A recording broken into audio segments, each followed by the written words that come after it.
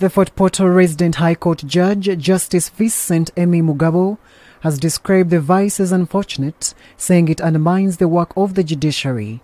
He emphasized the importance of maintaining the integrity of the judicial system. Once in a way, we get complaints of unethical conduct, either for all the agencies and unfortunately, even some of the agencies that we never expected to, uh, we hoped that they were very straight advocates who we expect to get instruction fees that come and do their work.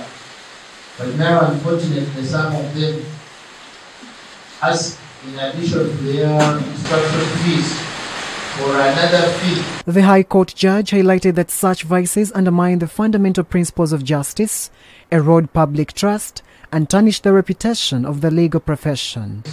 Uh, these advocates are hitting us uh, below the belt.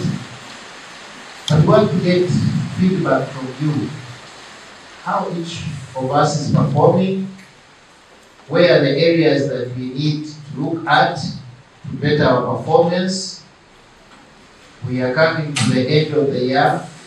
How best we improve our performance? In the report released by the Fort Portal Chief Magistrate Moses Navenda in the month of October, the Chief Magistrate's Court had a total of 1,150 cases, which were both criminal and civil. Out of these, Navenda reports that 144 cases were backlogged. The Fort Portal Chief Magistrate also reveals that in the same month, his court was able to register 106 cases, while his team was able to complete a total of 247 cases. This, according to him, doubled the number of cases that had been reported. October, this court registered 106 cases in total. 106 cases were registered in total. My entire team was able to complete 2,000, no sorry, 247 cases in the month of October.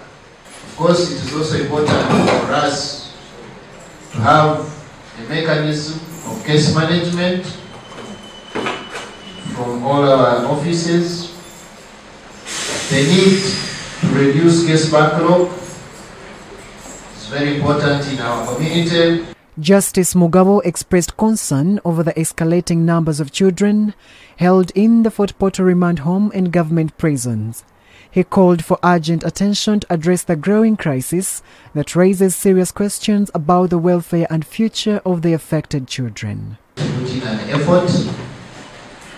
I last talked to the OC Remand Home yesterday she told me she had over 100 juveniles.